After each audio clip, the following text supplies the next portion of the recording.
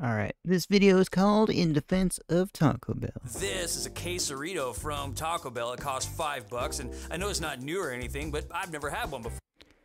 Taco Bell, Taco Bell's an awesome place, man. Never really go there that much. A lot of complaints on Reddit about them raising their prices a lot. Or so However, they still had the five dollar deal. I'm gonna I'm gonna have one. Online only though. Your review. Just another piece of Americanized garbage. If you've ever had good Mexican food in Mexico, you would never eat Like that, I just wish they wouldn't remove so many items off the menu and then just put them back on. Like they remove a lot of the fan favorites, man.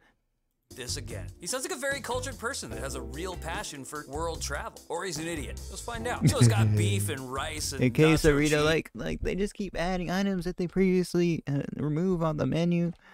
like- more cheese, chipotle I guess there's only a reduced certain amount of item combinations you can have, but fat sour cream because I just miss items the that they removed very long ago and they've never put on.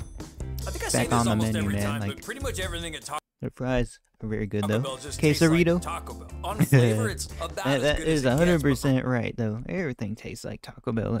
Taco Bell.